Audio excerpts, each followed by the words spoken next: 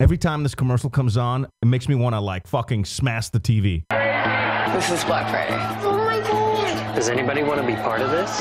No. Well, Chevy has a better way. Well, shit, if I had that kind of money, I wouldn't be getting at fights at Walmart either. That's a great idea. No, it's not. Bam. Let me avoid this fight and go buy a motherfucking car. Fucking horrible. Be better. If you're paying people to create your commercials, expect more. That's all I'm saying. Mic drop. It's on an arm, so it doesn't really.